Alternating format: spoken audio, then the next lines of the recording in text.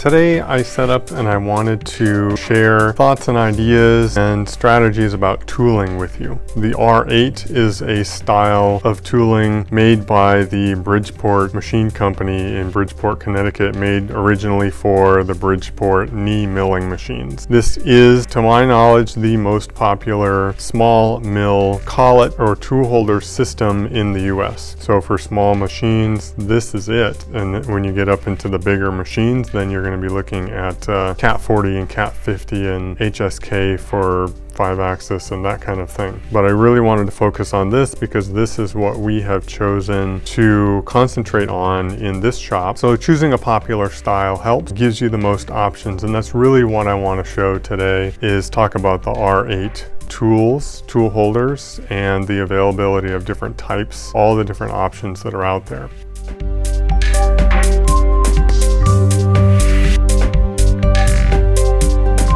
So this is a full set of the standard R8 spring collets, the original style that Bridgeport designed. These are a mix of inch and metric. So you have all the way from 7 eighths down to uh, 1 16th of an inch. We do organize everything in the shop, including the collets, by actual size. The inch and metric collets mixed up, but they're in order of actual diameter size from large to smallest. In reality, we don't care what size the collet is. When we're choosing a tool, we're going to grab the tool and we're going to go and find the collet that fits it the most appropriately.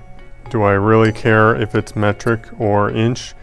No it doesn't matter. When we grab a tool, we literally, I know where the three quarter inch is because I use it all the time, but you're just looking for the closest fit to the tool that you're going to use. In prototyping work, we're doing all kinds of different projects. We're using weird tools. We're using uh, inch standard and metric tooling. We make tooling ourselves. We may have a weird piece of stock in-house that we need to turn into an odd tool for a job. And having every size gives you the most flexibility and the, and the option for choosing the biggest tool you can use for every job. It's best to basically have at least one of everything available. And we've pretty well done that here. Whenever I see a new tool out there that's R8 shank or R8 compatible, we usually just buy one if it has any application to what we're doing.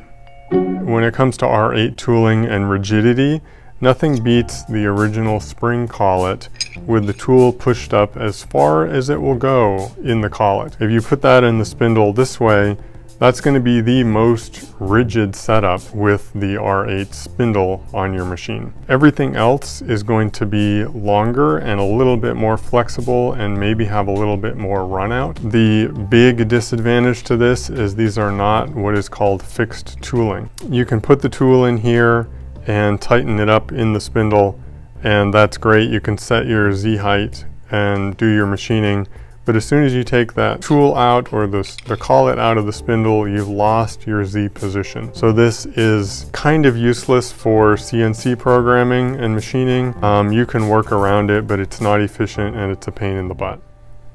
Another thing to mention about R8 is that you have a maximum size that you can hold is uh, usually about 7 eighths. They do make a 1 inch collet in R8, but as you can see, this one sticks out another inch and a half, and because it's still a spring collet, there's nothing supporting the tool out here. So if you put a 1 inch collet or 1 inch tool in this collet, your spindle is clamping up to my hand here, and there's nothing else supporting the tool out here. So this can still flex. I wouldn't trust this for anything where you needed uh, a lot of rigidity. To me, this particular tool is kind of a gimmick. It's not super useful, but if you needed to do some light milling in a pinch and all you had was a big one inch cutter, you could probably get away with it. We have one because uh, it's been handy a few times and having one of every size has proven invaluable for doing fast overnight rush work where you need to just make it work however you possibly can. The max useful size for R8 is really 3 quarter because there aren't a lot of tools that are made in 7 8 shank size or anything in between.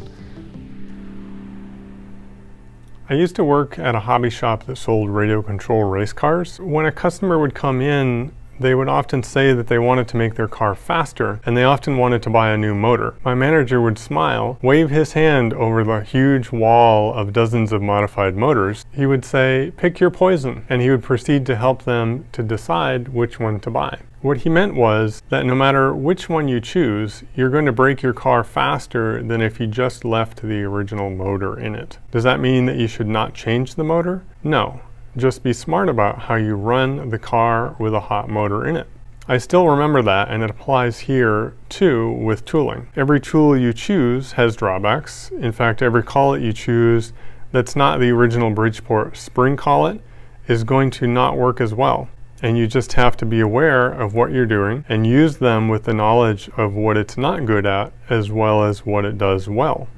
So for example, in tooling, this is the original spring collet, and this is a ER16 collet holder with the R8 shank. It's an integral tool, and you get the benefit of being able to put any size ER16 collet you want in here, and put things like drills and mills, whatever cutting tool you need. The main reason for this, it gives you fixed length tooling. If you're going to do any kind of CNC work, multiple part production, runs or repeated runs of parts, then you need the tool to be fixed in the collet so that it can't slide around when you take the tool out of the machine. It will hold your tool offsets. You can set them up in your machine. But what you get along with this that's not great is the extra length.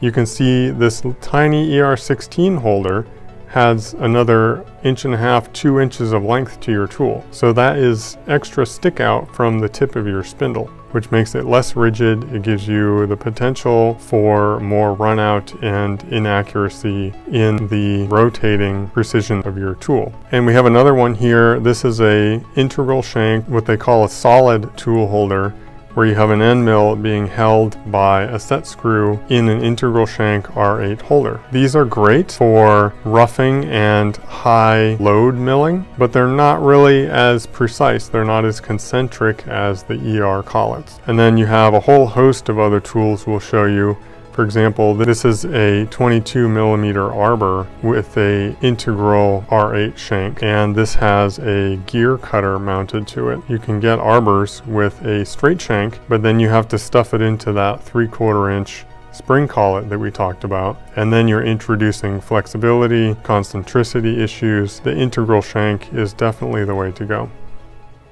So what we have found is by far the best option for fixed length tooling in the R8 style is the ER collets. You can get them all the way from a small ER11 all the way up to a large ER40 holder. Overall the best option, they're fairly rigid. You can get a whole series of collets in every collet style. It's pretty good concentricity, rigidity, and it's really fast and easy to change. It's pretty much the way to go is the ER style. For things like the ER collets, it used to be that if you really wanted a precise, accurate, nice quality collet, you would buy Lyndex or another brand like that. These days, it really doesn't make much sense to buy the Lyndex collets because the import ones are just as good. If you have a bunch of extra money that you want to spend on getting collets with the Lyndex name laser engraved on it, that's great. But really, concentricity wise, I have tested the import collets versus the Lyndex, and I've actually found in several cases where the import ones were better than the Lyndex collet. The only drawback, like I said, is that it makes it very long. If you're gonna have a tool in an ER collet, it's going to stick out three inches longer than it really has to because it's in an ER collet and not a spring collet, then you have to be aware of the effects th that that's going to have. This is a fairly difficult tool to work with because it's a small diameter and it's very long. So you're going to get chatter unless you're very particular about your speed and feed setting. And you can work around that a little bit by either going higher or lower than the settings that you normally would go. A lot of the times you can go a higher RPM and use that momentum to cut through the material with less chatter than you normally would. Or if it's really long, usually the solution is to go very slow and that will allow you to cut without getting the chatter as well. You also could go with a fixed holder for this same tool and you have to decide which one's going to be better for your application. It is very important, especially if you're new to machining and you are considering buying a machine or you're learning about process and tools. You really need to know the different tooling options in order to be able to choose a machine. If you're an experienced machinist, I'm sure you're very familiar with R8 tooling. And what I'm hoping is that I can maybe show you something you haven't seen before that might spark some interest or application for the work that you do. Hopefully you'll see some holders or some tools or notice something that I mentioned that might help you in what you do for your work. This study of tooling and research and this knowledge of what's available is actually really important. It's a critical information for doing machining and making decisions about it. Getting the pleasure out of uh, what you do often is tied to how annoying certain things are to set up, how difficult it is to get something the way that you want it or the, the way that is right is really going to make it more fun and interesting uh, and make you more successful as a machinist.